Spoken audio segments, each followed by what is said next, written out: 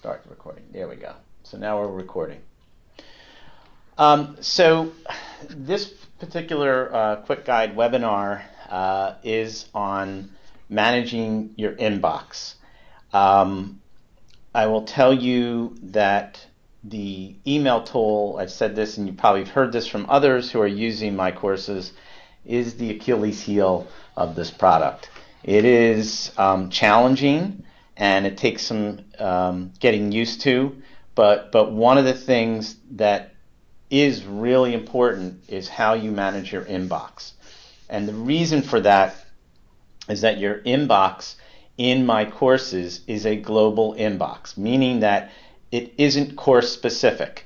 So if I can show you, for example, if I go into my sandbox course and you look at these updates and it says I have five new emails, that does not mean I have five new emails in my, my sandbox training course. If I go back home and go to a different course, you'll notice it'll still say I have five new emails.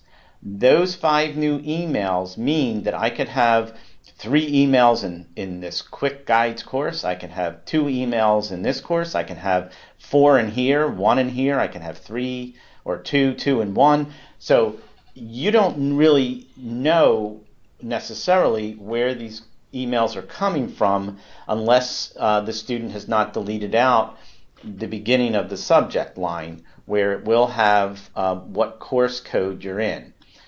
So when you go to your inbox, you're going to see emails from all of your courses.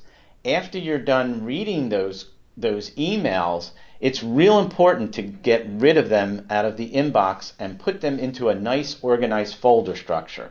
And that's what I'm going to show you today. It's kind of the way that I think is the best way, but you may have a different way, which is fine, but it's just important to organize that. And then I actually will go into my email in my faculty account because this is my uh, this is my demo faculty account where I can show you that my inbox is clean. The other reason that you want to try to keep your inbox clean and organized is that over the semesters, we are not going to be archiving stuff off of D2L. So if you don't keep your inbox clean, uh, you will end up probably with one, two, or three thousand messages over the next three or four years, if not more. You may have that many messages in one semester from all of your classes. So again, organizing, keeping the inbox clean is the most wonderful thing that you can do.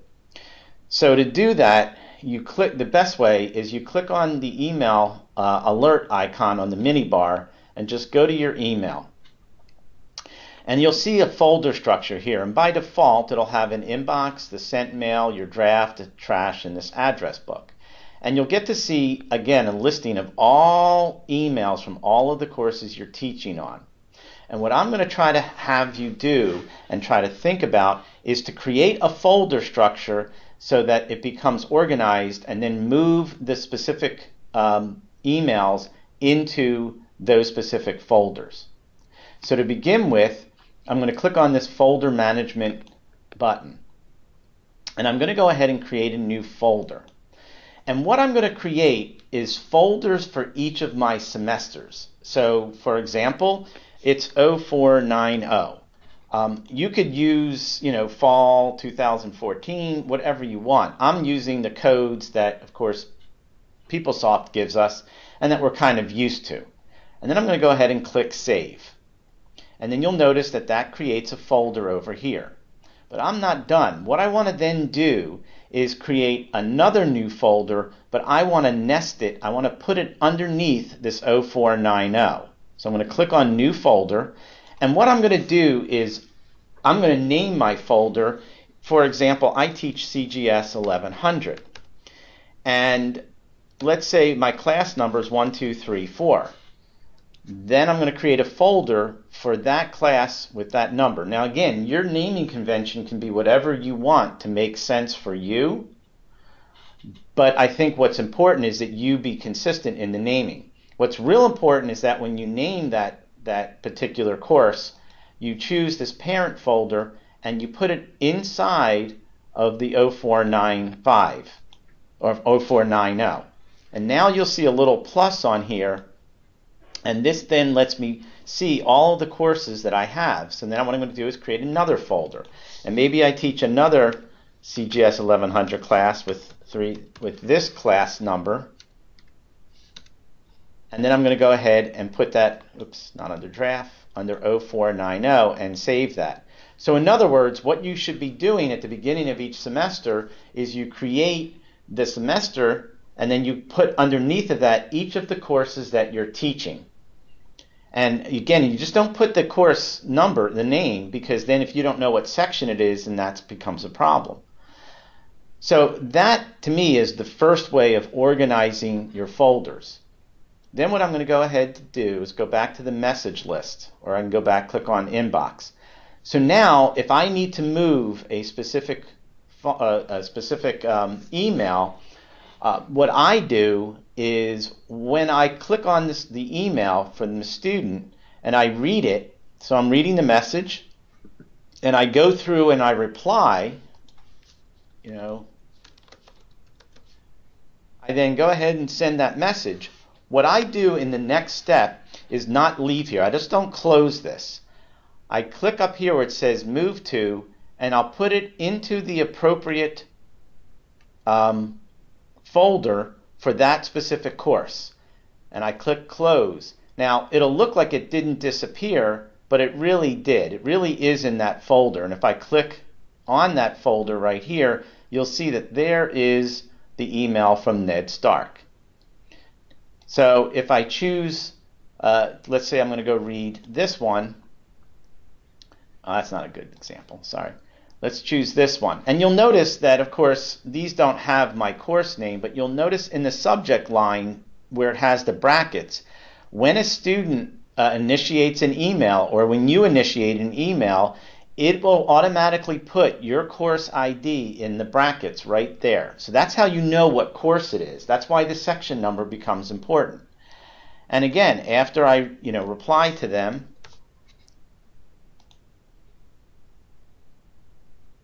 I then choose to put it in, I know it's extra steps, but it really helps a great deal. Now, if you want to move, if you don't want to do that and you just want to wait until you get them all done, I can checkbox whatever folders I, or whatever emails I want, and then in the move to here, I can put them into that space there. So now the next semester comes along, what do I do? Well, again, I'm going to do the same thing. I'm going to go ahead and choose folder management. I go to new folder. I'm going to create the next class number or the next, uh, I'm sorry, semester. I click save. I go new. And again, I, you know, maybe I'm teaching CGS 1100 like that. And again, I put it in that parent folder. So I do have to set up the folders each semester, but I'm telling you it will be a lifesaver. Because what can happen is this, as the semester goes along, as the as your years go along, this fills up.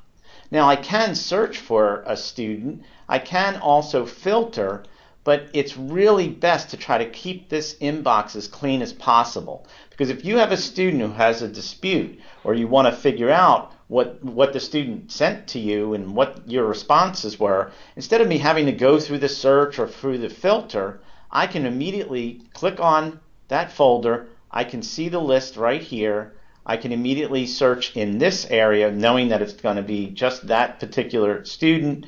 And then if I click on the email, if everything is done right, it will have um, their original message, my reply back to them, and I can see the whole thread.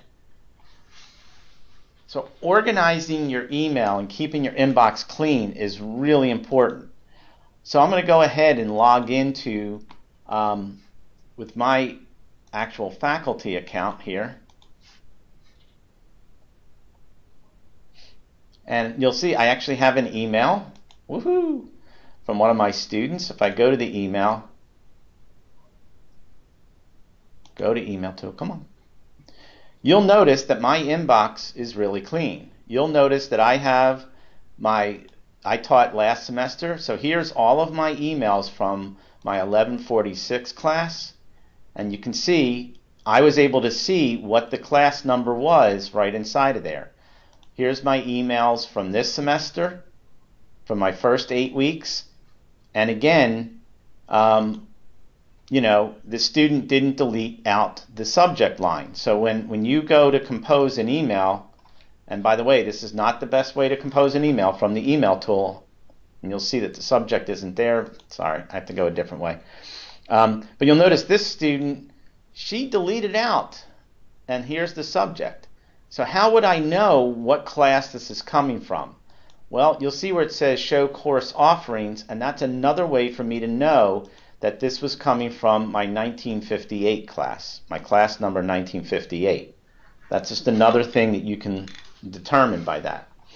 What I want to show you is if I go into my class, and I'm going to go to communication and class list, because if you're ever going to originate any emails, you always do it from the class list.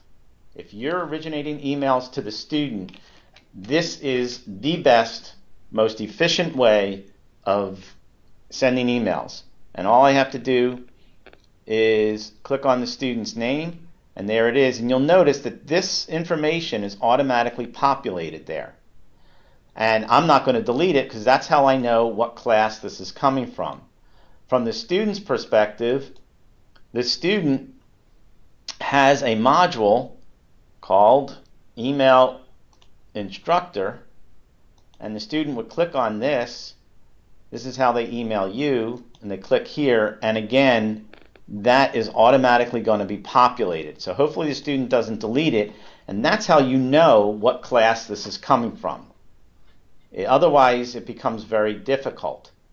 And again, managing your email, managing the inbox so it stays clean and it, you organize things and you put things away um, is going to save you a lot of heartache in the long run and um, a lot of stress. Otherwise, this email tool will cause you stress. So essentially, that is it for this quick guide. Any questions that you may have? Again, you can unmute yourself and ask away. Um, I have a question. Yeah. Okay. Um, so once you put them in the folders, then you go back to the original emails and do you delete them? No, the, the emails are automatically moved. Oh, they just automatically move. Okay. Yeah, so they'll be moved out of the out of the um, inbox and into that specific folder. Because I thought when you moved it in, I didn't see where it had been removed. Right. So it doesn't by default. So if I click on here, uh, minimize. All right, so I'm going to respond to this later, but let's say I'm going to click right here. I'm going to go ahead and move it. And I click close. So it doesn't look like it has moved. If right. I click refresh, it's really not there. Oh, okay, thanks. So once you go back out, I mean, that's one of the things, and in the quick guide, I talk about that, that if you do it from after you reply, then it doesn't. I'll, I'll mention one other thing is that uh, the sent box. Um, this I don't play around with. I, I have I know I have a vet tech faculty that I work with who um, who ha- who does do this with his inbox also. Um, I, I just don't because in my mind, again, what like I said, if I click um, inside of here and if I look at, for example, this message here, you'll see that here's um, you know this is what I wrote back to the student you know, I so and this is what the student responded back to me. So the thread of the conversation will be there um, by default. So because the sent box can be another really strange place. um, you know, one of the things you could do with the sent box, and I've seen this done, is you know that the, somebody will go into the folder management and they'll create another folder and call it you know. Uh, sent mail and put it inside of there, for example, and then at the end of the semester, they'll go into the sent and checkbox the top checkbox. Well, again, you'd have to, you know, look this. I choose 200 emails. I already have three pages. So out of two semesters, I already have over 600 email, oh, oh, less than 600 emails, but I have a lot of emails. But I would check box the top check box, and I can move that into my sent mail for that semester. Maybe call it something else than sent mail. But I, personally, I, I'm not going to mess around with the sent mail, but you can if you want. Any other questions? And, and Nancy, if you have a question, I know the computer that's outside of there doesn't have a mic. Don't worry, Alan, you can hear me. So I can hear Nancy through my door. Why don't you come in, Nancy? Why don't you come into my office? If you have a question? Oh, okay. She doesn't have a question. Got it. Anybody else? Nope. All righty. So again, just one last thing, again, just to reiterate, if you don't remember where the quick guides are, spcollege.edu OLS slash OLS. And if you mouse over my courses, you'll see the quick guides there, and the recorded sessions are next to that. So again, this is where all the quick guides reside, um, so that you can go and print them out. You'll notice that there are now some up on on Gradebook. As I get them done, I am adding them uh, to this uh, area, and uh, come January, we'll ramp up again with these quick guide webinars, doing more on the other things like gradebook and quizzes and those kinds of things. So keep an eye f- out for your email for those. And again, if there's no other questions, appreciate your time and um, have a good rest of the day. Thanks, Ellen. You're welcome.